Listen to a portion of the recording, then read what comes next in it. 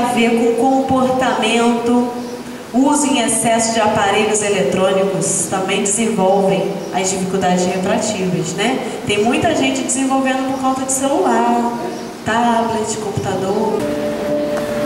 Os problemas de visão, quando não detectados precocemente, podem se tornar cada vez mais graves com o passar do tempo. Infelizmente, hoje, no Brasil, mais de 23% da população não tem acesso a um exame de vista de qualidade.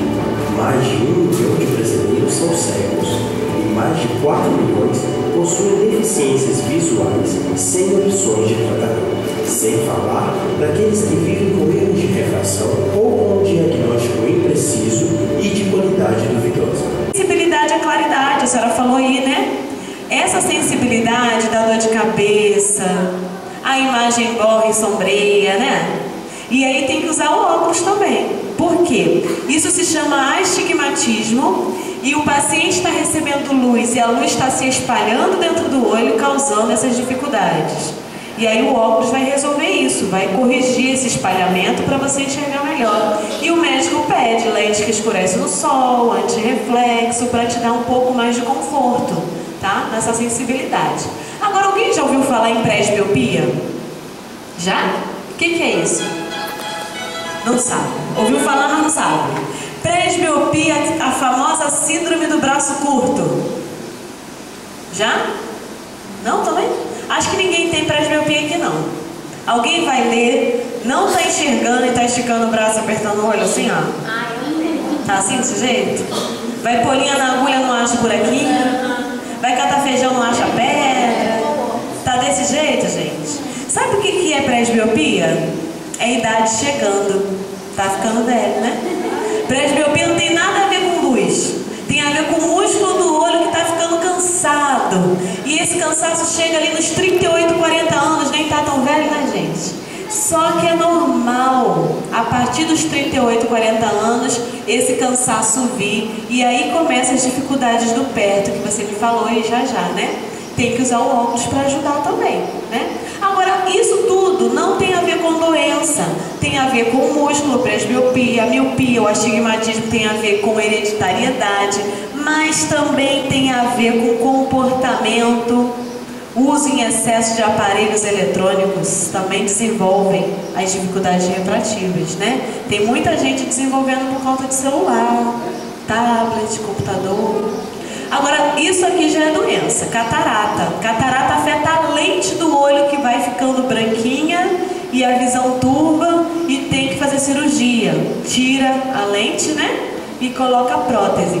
Ela chega geralmente na terceira idade e em pacientes diabéticos também, tá? Então quem tem diabetes tem que cuidar bem dos olhos. O pterígio, já viram? Uma pele crescidinha no olho assim, ó. Essa aqui coça muito, gente. Traz coceira, irritabilidade, vermelhidão, ardência, lacri... o olho lacrima. E tem que ser feita cirurgia para tirar também, para não atrapalhar a visão. Agora, o que faz a... o pterígio aparecer? Diz pra mim se tem aqui em Pingo d'Água, viu? Tem sol? Tem? Tem. Tem poeira? Muita. Tem mais poeira que sol, pelo que eu entendi. Tem vento? Muito. Tem também. Então tem que proteger os olhos, porque são os principais fatores de desenvolvimento, gente. Como proteger? Lavar as mãos, lavar o rosto, não ficar coçando o olho, né? Vai usar a moto, vai pilotar a moto, pôr o capacete, abaixar a viseira. A viseira é para proteger o olho. Usar óculos de sol. Tem gente que acha que é só para praia. Ou para ir para lagoa, que eu já soube que tem uma lagoa aqui perto.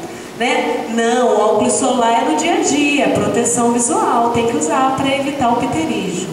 Gente, esses são os exames que o projeto realiza, incluindo o teste do olhinho nos bebezinhos aí de 0 a 2 anos, todos gratuitos, tá? Ninguém vai pagar nada. Aí lá na escolinha, vai ser na escola municipal, você vai fazendo o exame, na sala de exame Zoom, esses aqui autorrefrator e tonômetro. Esse para verificar a luz dos seus olhos, esse para verificar a pressão interna do seu olho. Vai ter também na outra sala, onde vai estar os médicos, né? Esses equipamentos, grid refrativo, retinoscopia, lâmpada de fenda, oftalmoscopia, tonometria de aplanação, o lesômetro. Lá o médico vai ter todos esses equipamentos para definir se você precisa de tratamento. Agora vamos falar sério. Se o médico pede um tratamento, a gente tem que fazer o quê? Guardar na gaveta ou fazer o tratamento? Pelo amor de Deus, né? Não adianta saber o problema e buscar resolver. Não adianta nada. Então, estou puxando a orelhinha de vocês. Se o médico te pedir para usar colírio, gente, use o colírio. Ele vai te dar receita, vai na farmácia e use. Se ele te pedir óculos, ele vai dar receita de quê? Peguei vocês. Da lente. Não é da lente? Da lente do óculos. Eu falo da lente porque é ela que é o tratamento. A armação a gente escolhe que a gente pode pagar, né? Agora a lente tem que ser feita e tem que ser utilizada. Não é para guardar na bolsa, hein, gente? Para usar. E por fim, lente de contato. Alguém faz uso? Aquela que a gente tira e coloca na hora que a gente quer, né? Ah, eu não quero usar óculos, aí põe a lente. Ah, eu quero colocar outra cor no meu olho, aí põe a lente. Alguém faz isso? Sobre essas questões? Não? Que bom, gostaram? Quem aqui tem dificuldade para enxergar longe? E para enxergar perto? E para média distância? Que é mais ou menos aqui, ó. Ah, tá. Então tá bom. Então vamos descobrir por que disso, tá? É, um olho, quando ele não precisa de nenhum auxílio para enxergar bem, o que, que acontece? A luz ela entra pela pupila, tá? Alguém tem dúvida? Nenhuma? Nenhuma perguntinha? Tudo claro? Ah, que bom então, tá bom. Preparo para acabar.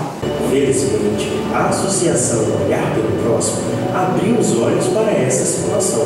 A OPP foi criada com o intuito de atender a população carente na área da oftalmologia, diagnosticando problemas e executando tratamentos com eficiência e antecedência. Nós queremos servir e prestar apoio ao maior número de pessoas e nos lugares onde há maior carência de médicos especializados, a fim de contribuir para a redução de problemas com a saúde visual no nosso país. Não esqueça de deixar o seu joinha se você gostou do vídeo. E não se esqueça também de se inscrever no canal.